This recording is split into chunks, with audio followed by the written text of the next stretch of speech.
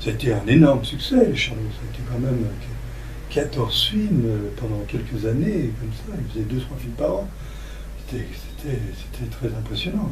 Les Fous du Stade fait 5, ou 6, 6 millions et demi d'entrées en France mais il en fait 50 millions en Inde. C'était de l'insouciance pure. Quand, euh, ça passe à la télé, je rezappe un peu sur les films pour voir un petit peu. De temps en temps, je regarde un petit bout, et, euh, et c'est vrai qu'on voit l'insouciance à l'image. C'est certainement ce qui a fait que, que ça a accroché. Je ne regrette pas du tout. En plus, ça nous a permis de voyager, de connaître plein de trucs.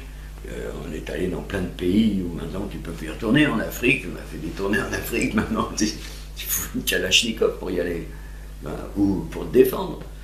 Non, non, non, c'était, non, c'était vraiment bien. En tout cas, j'ai même, j'ai l'impression que je suis plus heureux maintenant. Parce que bon, euh, une fois que si tu as le nécessaire pour vivre, le reste c'est de l'accessoire. On a fumé des joints ensemble, on a pris de l'acide ensemble, on, a, euh, on faisait de la musique ensemble. Euh, voilà, c'est tous ces trucs nous réunissaient. Et sur scène, il y avait une énorme connivence grâce à ça. Au début, c'était vraiment rigolo. Ils ont fait un immense succès en Amérique, dans le monde entier, en Asie en particulier, ils étaient connus comme les Crazy Boys. C'était un cadeau, hein.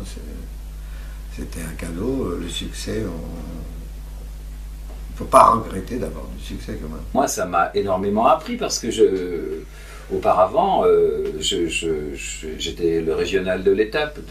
donc, donc euh, je suis passé d'un seul coup dans, un système euh, de show business que je ne connaissais pas. La pire des choses, c'est quand on est déçu en amitié. Euh, c'est un petit peu comme une histoire d'amour qui, euh, voilà, j'ai eu l'impression d'avoir été fait cocu. Je pense que s'il y avait eu une occasion de produire, même aussi petite qu'il soit, je l'aurais saisi.